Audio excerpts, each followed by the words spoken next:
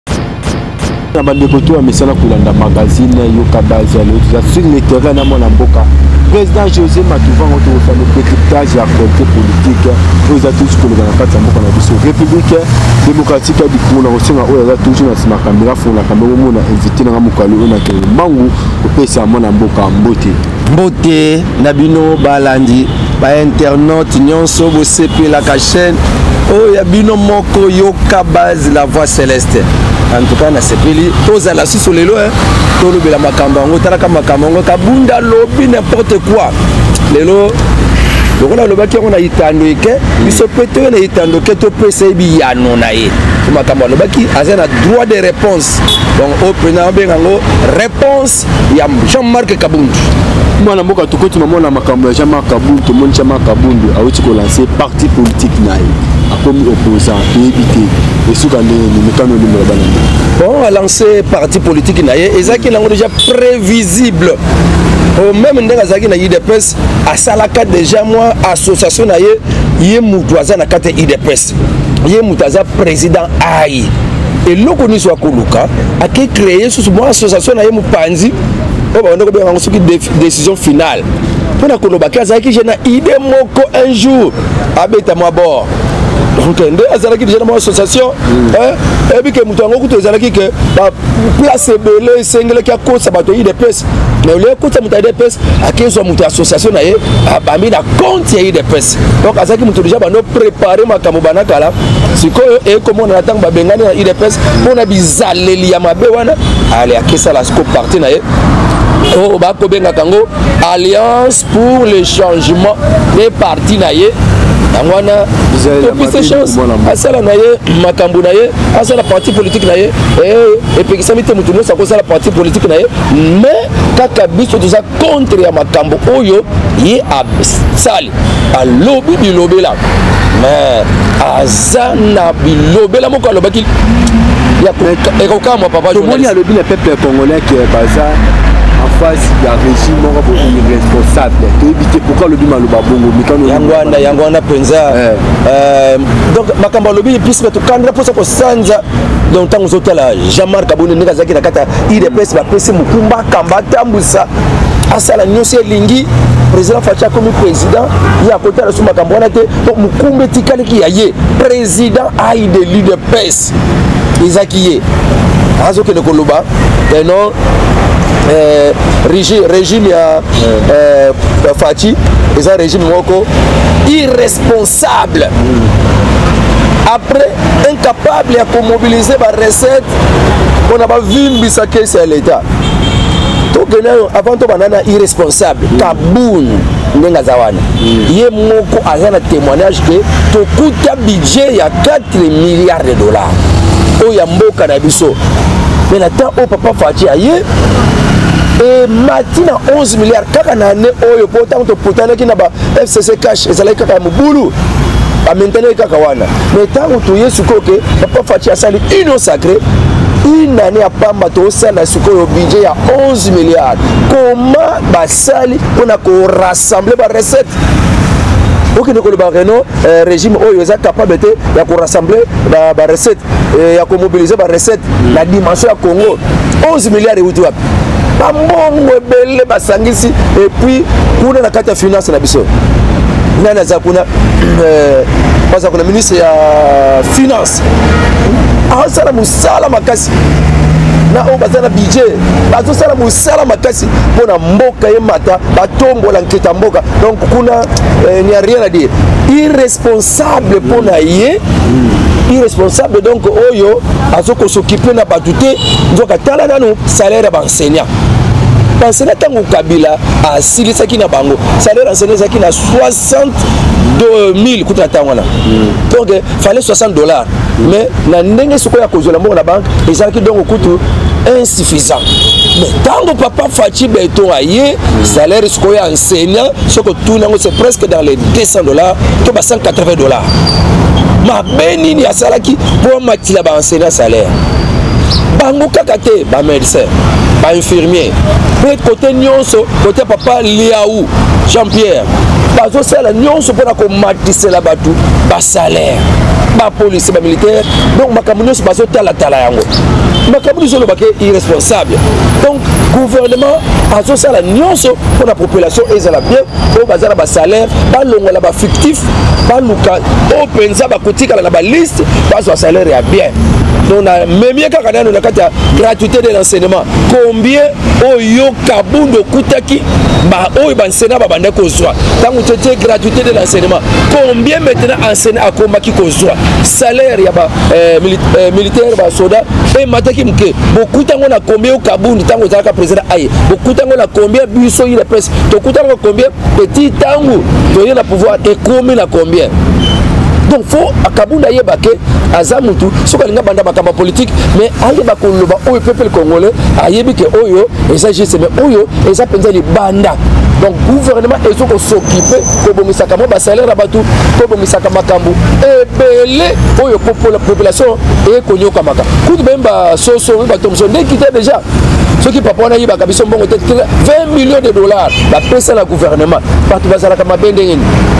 donc kabunda alingi amikomisa nde moto monene alo azosala bosoto buzoba na kati ya mboka tondima yango kaka toko tolongole na udps abandi koloba bilobela ekosimba te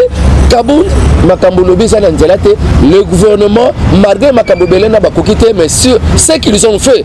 okoye oloba ke sont des responsables abimisi bino ya mpwasa mwana mboka alobi ke ya bambongo akani bino mpe boyebi yango mokonzi ya mboka ayebi bambongo wana epali yango ye moko azalaki wana mpo na nini alobaki yango tata wana mpo na alobaki yango te wana eza ki populisme alingi ayebana alingi amonana ke ye wana nde siko opposant azangi maloba mpo bato balinga ye mpo bato balanda ye ekosimba nango te ram eza na moto nango abande kolia yango aza na ye oyo na kati ya ministère ya betentik kaikibasa yende moto azalaki responsable na bato mosusu bazalaki na bango na kati bayebani te kibasa kaka moto ayebi bango mais ye aya kodenonse ke oh, ye président moto abanda euh, kolia mbongo ya ram alors soki toporte plainte apesa biso bapreuve tomeme na justice apesa biso bapreuve bazalaki na ye babofana esika moko mwana bazalaki na ye soki ye mpe baliaki yango mpo ye ntango oyo bando denonse ke no président moto aliaki mbongo arabe sikoyo soki bamemi yo na justice parce que wana eza dénonciation vraiment calvinieuse donc eh, bakomemela yango mpe kende luka bapreuve eza na bandeko ebele oyo baza mpe na proche baza na bambongo na bango akonda dépose mpe plainte okoloba nini o oh, balandeli ngai oh, bakomela kosala chasse à l'homme non eza ntango oza politicien meme ndenge tozalaka tokalikilaka maloba ata okomi politicien mais kalikile maloba parce que maloba mosusu okozala wana eke kokomisa yo kuna na kati ya euh, justice yango kutu nani israel mutombo hmm. alobaki ke makambo papo alobi justice aza na droit akanga ye israel mutombo azalaki na raison neti biloko ya boyoki nayebaka président moto alia mbongo arame bato bazolobaloba bato congolais banyokwamaka banyokwama bayebaka mpe yango te yo ya koloba ah, pona o justifier bakokanga yo justice akosemprendre na yo justice akose saisir na yo kabul okende opesa bapreuve oyo président fati alelaki mbongo ya ram wana nde makambo ekokatana wana prépare toi alors azosouffrir bino bozosala ambiance na mambongo yoka makambo alobaki ebele ebele te mokonzi ya mboka toujours ambiance ote wana wana mpe papa journaliste hmm. aza na droit ya réponse na ye hmm. kabunde ndenge alobaki o oh, jouissance azobengo na français jouissance justice mm. gouvernement moko incapable eza na jouissance bongo ye ntango mm. akende komata mpunda mpo nalaki engaka te eza jouissance te azobata mpunda azodenda wana biso tozoniokwama na mpasi tozorange kuna donc tozoniokwama na nzala tosengama bamai mosala eza te ye azomata mpunda kuna na kengakati makambo nyonso ya bien kuna eh? me biso combattant vraiment biso kuna toza kimia et tozalaki na mpasi mais ye ntango bando mata bampunda kuna est ce que biso tozalaki ye azoloba ke o président félix na biso ye nde ah, azo se réjouir azosepela sepela asunoli bato mosusu te alobi lokuta ye atongi bandako ebele epai na biso kaka na permanence na biso na ngambo kuna ye atongi ndako kuna te asombi buldingi kuna te na 11 miri na ngambo kuna asombelaka mpe na ngambo na biso kaka biso tia na 10 miri na permanence eh, ti tozwaka ndambo ya 11 miri mais ye siko aza kuna na ngambo mbongo wana azwi yango wapi azolobela te président aza moto ya jouissance bongo mbongo wana alingi atonga mpe stade municipal moko boye kuna na kingabwa mbongo wana azwi yango wapi toyebi kaza moto ya bacarre minier hmm? ye mpe aza moto ya bajouissance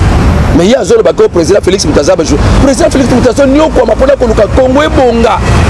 bino ya bino bokomi bibisa baverité okende kokuta deja président félix na, na building ya monene na ndako monene si bafilma deja ndenge aza kaka na union africaine kaka wana me tala ye babuilding azosomba kuna me azoloba o oh, président félix aza moto ya jouissance na en face na biso kaka wana akokeba mpo ndenge aye kotonga wana ntango biso tokobanda makambo ya korange wana donc akeba na ye mpo soki asakani kaka na makambo nazoloba wana tokokoteli kaka eza makambo ya kobimisa sekret te ye akenda na ye ndenge akenda na ye na ye amoni makambo bino bozosala esepelisa ye te esepelisa peuple congolais te ebongo osala nini na ye biso mpo journaliste ye azalaki combattant biso mpe tozalaki bacombattant hmm. ndenge akenda yo moko oyebi ndenge tobengana ye azotobola bapine meme ya famille présidentielle ya bango kaka te akuti kaka na kati ya euh, embouteillage ata kutu eza feu rouge se bakami fo etelema eleka te mais soki ye aye amoni kamio liboso na ye donc ye fala aleka alfa tobola bango bapine ayebi pine moko eza combien oyebi combien bato ebele balobaloba mpona contre président félix tshisekedi ndenge ye abandi kotobola bato bapine ti aye kokutana ke atobola sikoyo ya famille ya président atata jusqu'à pas jusqu'à ce niveau akoma ti kotobola bapine combien pine moko ezalaka sikoyo lobilobi ye akoma président de la république akotobola pe pine combien so bizaleli wana ya mabe eza normal te ke banditis banditisme eza ki banditisme pine ya yo te motuka ya yo te yo mpona kotia ordre alifo kotobola pine ce n'est pas normal bokomi na pouvoir eza mpona ye jamar kende moto alobaka koretire signature non soki ye moko akendaka na marche est ce que ye moto atumba pine ye alobi kebenga mokonzi ya mboka aretire signature ye alobi ke il faut mokonzi ya mboka aretire signature biso sikoyo toke na marche tobandi kosala manifestation mpo na aretire est ce que ye alobi kaka est ce que ye moko moto akenda kotomba pine yango donc eza ye te donc ça c'est la masse ezala te eh, ye elobaka kaka o oh, ngai moto napesa président pouvoir wana po biso bato tosalaka ma est ce que ezalaki ye moko ezalaki biso na kati ya base toke tomanifeste mbala moko mpe kuna eh, yokanika ah, kuna idps idps moto moko te lisanga lisanga ya bato bamanifeste balobaki te ke jean marc amanifeste jean marc moto aboyaki mais population idps nde moto aboyaki ok lidps ce n'est pas seulement jean marc mais ye akomaki kosala makambo lobi nayokaki na po de presse ne asalaki wana azoko se justifie ke ngai na banda kotobala bapine ya bato po bato babandi kolandela eh, mibeko ya eh, bapesere te babandi kolanda mibeko yo okomi pesere est ce que mpona kotya ordre sikofukotobola pine oyebi pine moko eza combien donc wana eza ba faux faux fouillant babuke misere tobengaka yango donc baéchappatoire azalaki fautif ata kutu nani président kutu atobolaka bato bapine te bongo ye atobola est ce que mpona kopesa moto leçon ale fo kotobola pine ce n'était pas ça ye mpe azalaki psr te donc il avait devi à sa mission yango wana biso tomoni ke papa oyo aza na plan mosusu na kati ya parti président asali mwa baassociation na ye ya euh, décision finale azwi bato fo bakende misala bato ya udps biso baprésident parlementaire toa kaka boye na mpasi na mpasi mais ye azozwa bato oyo association na ye kokotisa kango na compte ya udps biso tonyokama kaka boye toyoka kaka o oh, moto moko amati kuna akomi kosala na cabinet ya ministre te ah, mpe bazwili bango wapi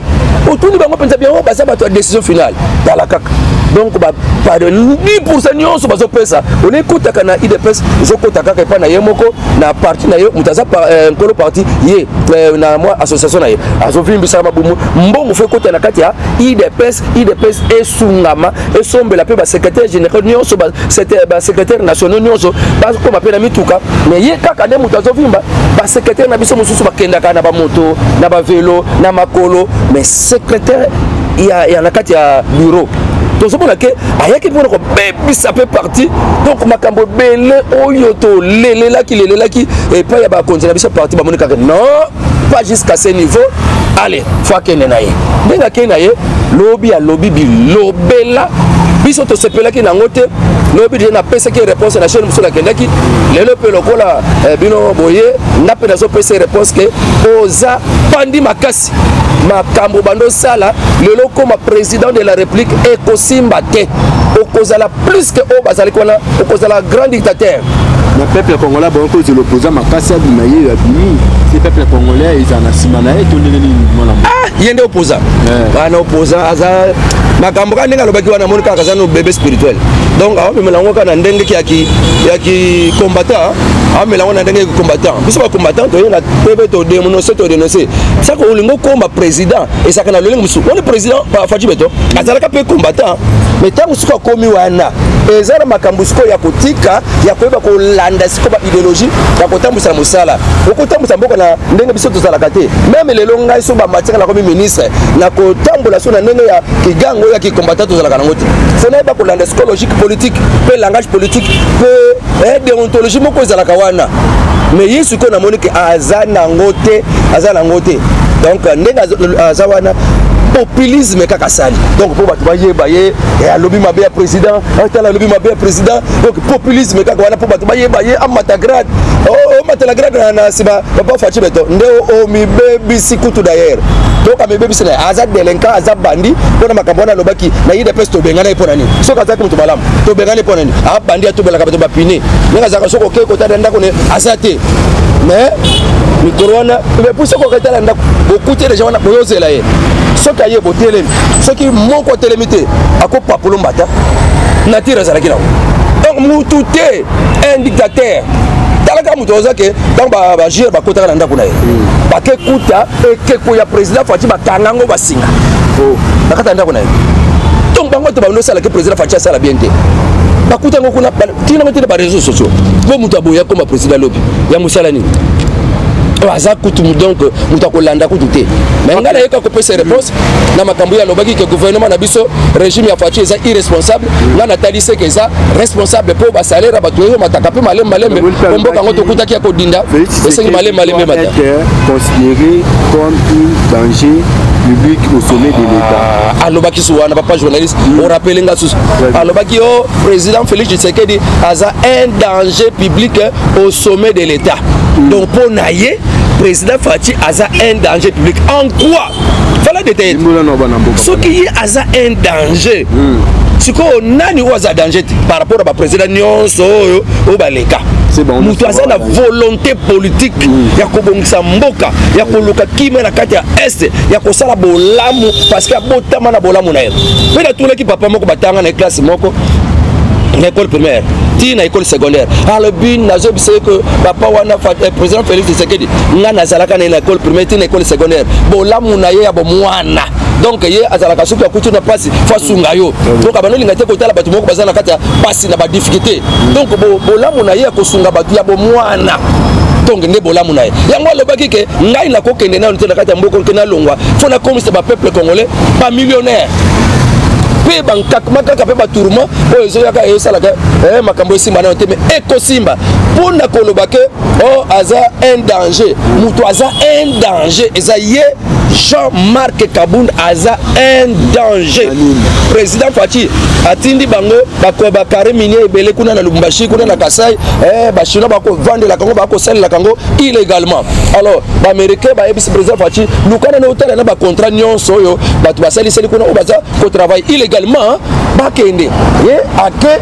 asali ne kutu susu vrai contrat na bachinois akomi protecteur ya bachinois ye moko akoti na makambo ya karimine ye moko akomi koexploite makambo ya karimine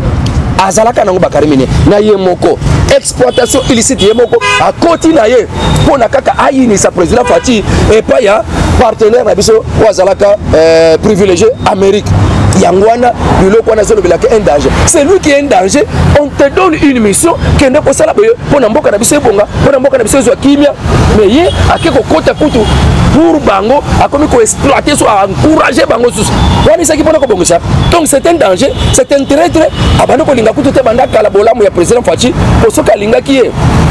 ngai nayebisaka na udps esengeli kaka doctrine moko ya chisekedisme chisekedisme mais ye aye na mwa association na ye na kati ya udps bakobengaka yango eh, kabundisme ta bino meme na baeglise nde tozalaka boye totelemaka na christianisme mais soki moto aye abandi komibenga eh, nazwaki kutu exemple ya eh, branam soki ekomi ya kibranamisme nalobi te biso tozalaka mpe na kati ya branam mais tondimaka to, to branam mais ezalaka kibranamisme te ezalaka kaka christianisme oyo branam ateya mais soki moto aye na kibranamisme eseki donc doctrine de branam bande ba branam basambela na kombo ya branham bazwa bateme na kombo ya branham ekomi branhamisme alors soki okoti yango na christianisme ekosimba te ndenge mpe ye na kati ya idps on avait la doctrine de le tshisekedisme tshisekedisme mais ye aye na mwa association na ye na kati ya idps ekomi lokola kabundisme sikoyo bitumba ekomaki na bato ya kabundisme na bato ya tshisekedisme ndenge tozalaki na kati ya base wana mona kaka tozosala eh, badeba badiscussion ekomi koyinana Oh, oh, yo ndenge nini oh, nga nazalaka moto ya kabundi ekomi nga moto ya kabundi nga moto ya tshisekedi ezalaki déjà desode atiaka desode na kati ya parti aya mpona kobebisa mpe mpona kopanza eh, parti ndenge azalaki wana c'est un danger elobilobi to tie président de la république mais il va directement partager le pays il va directement céder le pays na banguna oyo azomona biso responsable kagame aloba je propose des choses epai ya président félix mpo na kimia ezala na kati ya est eh, eh, bitumba ezala su te mais président félix akoboyaka nani akoresiste devant, eh, devant kagame mpo na koboya makambo kagame azoloba azolinga yango wana estce président kabila aboya yango andima balelo ti lelo banguna ba m23 bakota na kati ya gouvernement na biso bakota na kati ya baarme bapolisi babisika nyonso mais président félix alobi te ngai nakosala bongo te mpe kagame azoloba yango na etando ike que j'ai dit des choses au président Félix Tshisekedi, mais aboyi kolanda yango, aboyi kosuivre yango. Yango wana eh, toutes ces choses, président Félix, il faut kaka azo ba responsabilité. Ba responsabilité ni pour na kaka andima ba M23 bakota na armée, bakota na kata gouvernement. Yango wana aboyi na ye, mutu aboyi est-ce que il est irresponsable? Eh, c'est mon amboka, tozana na hein? naza lokota irresponsabilité eh, moto aza irresponsable est ce que akoboya biloko wana akoboya yango te nde akondima mais parce qu'il est responsable il a pris des décisions responsables aboyi mpe aboyi alobi banguna bakokotela kati ya armé te ngai naboyi ça c'est irresponsable mais mwana mboka nde jean marc abunda alobi ke eza de la république aza danger okondimela mpe peuple congolais mosusu mpe okondimela jean marc parce que jean marc azalaki pembeni pembeni na mokonzi ya mboka toyebi yango tiamaka atamboli na mokonzi ya mboka makasi ayebi basekre na ye ebele omona te ekani olimbola bana mboka ya partir jida azalaki elongo na yesu jida aketeka yesu tokolobaka lokola azalaki pembeni ya yesu seke aza na raison te keto ya mbongo donc moto azosala miracle yo oza wana mais oyokelaka ye keto ozowela ozala lokola ye sesa keto ya mabe ya kindoki oyo azalaki nango ke moto aza wana azodirige batie yo ketikala kodirige parti mais opebisi parti oluki ya yo moko ebima mwa association na kati wana mpe ozosala bakuba contre le président de la république kolinga koderangeaka régime na ye kotobolaka bato bapine konyokola bato na lolenge ke vraiment on ne peut pas en comprendre même na kati ya parlement babandi koloba il est trop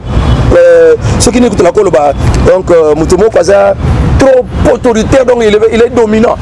même le ba, ba ministre mosusu bakei na kiministre na po ye moto atinda bango po ye moto atia bakombo na bango soki aza na bureau na ye abi ministre chimvundu ministre tel alevie ici soki ata ministre wana aza na bureau na ye lokola kabundu moto abengi ye fo akende soki ake te akosala tu alongola ata nkombo na ye eh, koluka kama nefele moko pita bazobanga ye fo kaka akende ministre atiki mosala na ye donc azalaki moto moko donc donc un dictateur soki aye na lelo oyo président oleka na kabila na kidictateur kabund mutu te un dictateur akokamba mboka te c'est la mort et c'est un danger c'est un danger ndenge alobaki ko oh, président moto alia mbongo arami ndenge alobaki orge euh. en tout cas ebele kutu déjà oyo baza déjà soki ngai nazalaki déjà nayebani na moto moko kuna nazalaki na mbongo nangaki nafuti mpenza na justice que non en tout cas ça il faut bolandela amemela biso bapreuve pourquoi il doit dire que le président ye nde moto alia mbongo arami approuve yango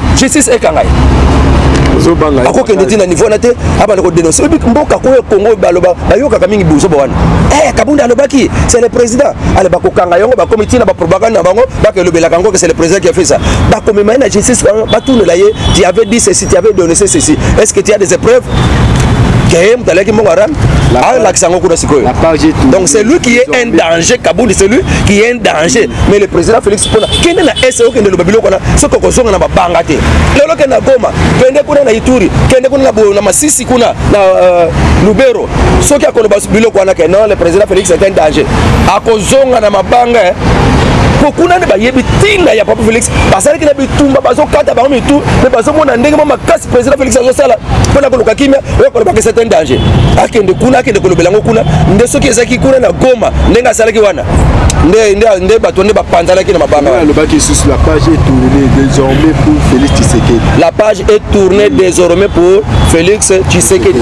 a tourné page mpo na ye oh. mais mpo na peuple congolais te peuple congolais est toujours derrière son président commandant suprême Fatshi Beton hein? et eh, mwana Sphinx Est onction eza nani wana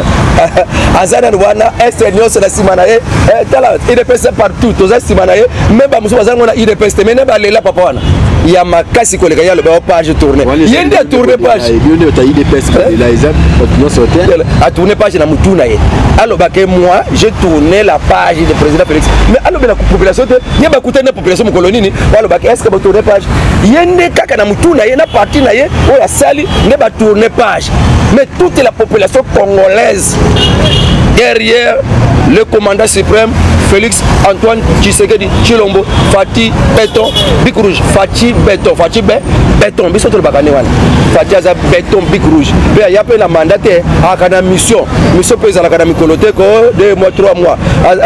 bakokalikele wana ba 2023 wana naseka bango eh, eh, 2023 aza na manda te papa wana fati ana mission ti soki asilisi mission na ye nde akokende bino bokopasuka bokozala 2023 eleki mpe aza kaka wana bokosilika bopasuki mpe bochange mboka naye tolobaka biso esika torangaka e eh, soki oboyi katisa ta na braza akatisa population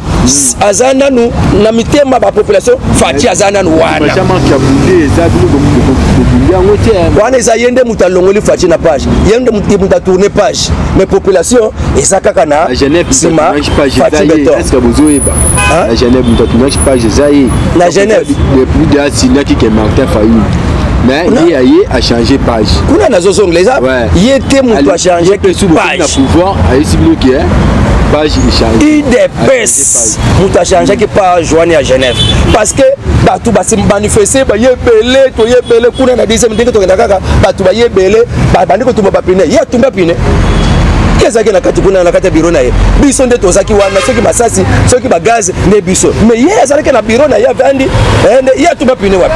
ye atumba pine te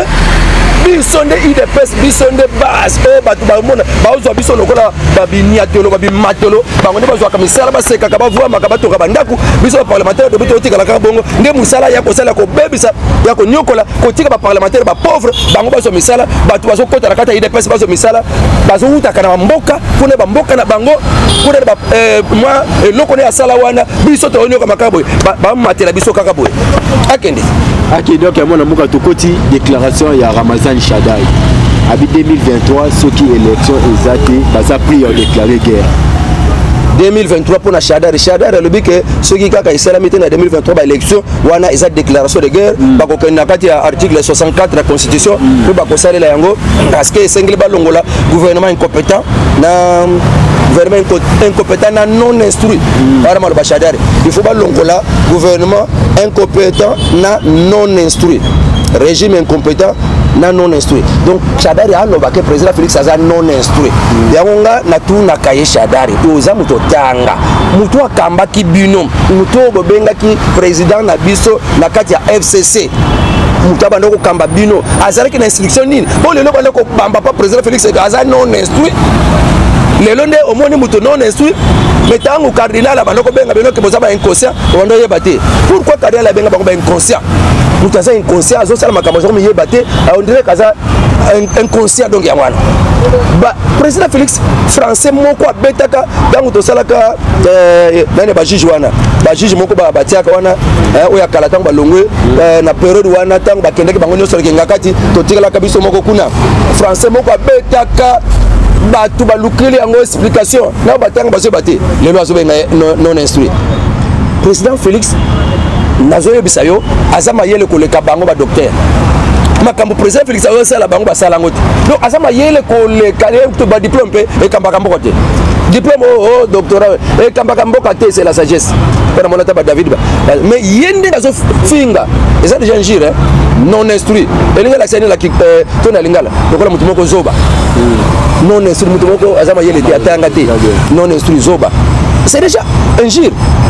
eloko ya ndenge wana nde justice ya biso fotalaka incompétent kutu na bikambo tawo sala bien te euh, euh, azalaka incompétent mais na 2023 bango nde batalaka makambo ya guerre baotala kaka makambo oh, ya élection mpo na nini baya na pouvoir toyebisi bango ke bokokolo bokotikala kaka komona kaka faci aza kaka wana 2023 tobanda enrôlement eh, ya baélecteur na octobre nani alobakadi malobaki yango oyo tolingi tokende na identification me bapression bazotia non tozwa retard tokende kaka bango na ntango na bango bazwaki bato bauta rwanda baye kozwa bacarte électeur siko biso so toke zwa baegyptien eh, obaloba susu bango nde bazotindika biso ka élection 2023 ah, biso tolingana tosasa recensement tokenda identification bino baotindika biso kaka bon sava toyokende ma ebandi totala sikoyo kuna déjà bandeko nyonso bayebi ke oyo azalaki étranger oyo azalaki étranger ya kozwa siko carte électeur totala na ntango wana tokokanga frontière moto awuta kuna te aya na mboka na biso eza ntango ya kopesa bacarte d'électeur papa ngobela déjà bandaki makambo awa qu'il faut déjà baétranger baye bakozwa bacarte de résident oyo na poto bazwelaka wana eza ba 2000 dollars biso awa totalaka bango kaka bakota abimi donc c'est de l'argent papa ngobela bandi yango tokokanga frontière bakozwa bacarte de lecteur toke na élection totala soki kabila kobima totala soki shadara kobima shadara kutango bazalaki na mbongo kuta akokobima takala lelo monoka pamba azotia wana shadari okobima te mpe 2023 président félix aza kaka wana tokende biso na élection kobanga te o oh, manguru wana ozosala shadari président félix restera président il sera élu à 85 pourcent yo tokopesa 5 pourcent na bakandidat mosusu 555 le président akozala na 85 pourcent oti lelo conquérant aza te par exemple fayulu akotelema te oh, mwasi ya eh, mama olive akotelema te mosusu kutu wana asengi abandon eh, nani wana asengi abandon kuna na moïse asengi abandon donc aza na ye te komitungisa te lelo ezalaki émission mpo na topesa réponse epai ya eh, kabund nde oye kokotela mwa makambo ya bachagari bato ya pprd makambo ya guerre eza te o oh, todeklare guerre eza yango te la réussite déjà toujours est toujours dans les mains de faci beton lelo aza na espagne azwa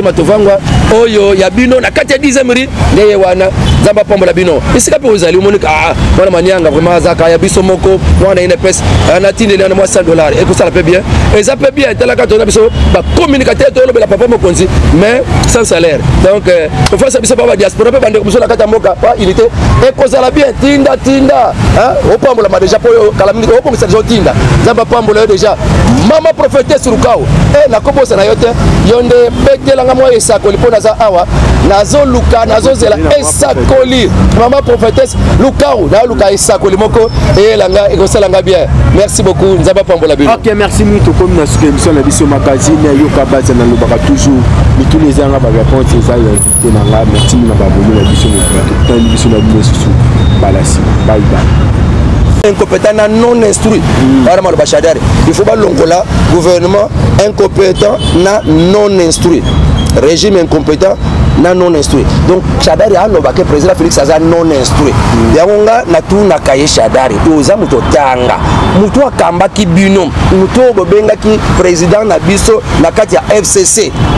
moto abanda kokamba bino azalaki na instruction nini mpo lelo banda kobamba mpa président félix aza non instruit lelo nde omoni moto non instruit me ntango cardinal abanda kobenga bino ke boza ba inconscient obanda oyeba te pourquoi cardinal abenga bango ba inconscient moto aza inconscient azosala makambo azoko miyeba te euh, ondire kaza inconscient donc yango wana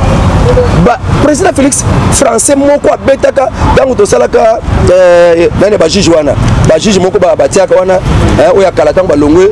na periode wana ntango bakendaki bango nyonso lekenga kati totikalaka biso moko kuna français moko abetaka bato balukeli yango explication na batanga bazoyeba te lelo azobenga non instruit président félix nazoyebisa yo aza mayele koleka bango badoktere makambo président félix azosala bango basala yango te donc aza mayele koleka badiplome mpe ekambaka mboka te diplôme o oh, oh, doctorat ekambaka mboka te c'est la sagesse mpo na mona ata badavid mais ye nde azofinga eza déjà njire non instruit elingi alakisa nini laki euh, to na lingala lokola moto moko zoba hmm. non instruit moto moko aza mayele te atanga te non instruit zoba c'est déjà injure biloko ya ndenge wana nde justice ya biso fotala kango incompétent kutu na bikambo ta osala bien te azalaka incompétent mais na 2023 bango nde batalaka makambo ya guerre baotala kaka makambo oh, ya élection mpo na nini baya na pouvoir toyebisi bango ke bokokolo bokotikala kaka komona kaka faci aza kaka wana 2023 tobanda enrôlement eh, ya baélecteur na octobre nani alobakadi malobaki yango oyo tomi tokende nani na identité explication mais ba pression bazo tia hein, non tozo retard to kende kaka bango na tango na bango bazwaki bato bauta Rwanda baye kozwa ba carte électeur siko biso so tokezwa ba égyptien obalo basusu bango nde bazotindika biso ka élection 2023 ah biso tolingana tosasa recensement tokende na identification bino baotindika biso kaka bon ça va toyokende ma ebandi totala sikoyo kuna déjà bandeko nyonso bayebi ke oyo azalaka étranger oyo azalaka étranger ya kozwa siko carte électeur totala na ntango wana tokokanga frontière moto awuta kuna te aya na mboka na biso eza ntango ya kopesa bacarte d'électeur papa ngobela déjà bandaki makambo awa qu'il faut déjà baétranger baye bakozwa bacarte de résident oyo na poto bazwelaka wana eza ba 2000 dollars biso awa totalaka bango kaka bakota abimi donc c'est de l'argent papa ngobela bandi yango tokokanga frontière bakozwa bacarte de lecteur toke na élection totala soki kabila kobima totala soki shadara kobima shadara kutango bazalaki na mbongo kuta akokobima takala lelo monoka pamba azotia wana shadari okobima te mpe 2023 président félix aza kaka wana tokende biso na élection kobanga te o oh, manguru wana ozosala shadari président félix restera président il sera élu à 85 pourcent yo tokopesa 5 pourcent na bakandidat mosusu 555 le président akozala na 85 pourcent oti lelo conquérant aza te par exemple fayulu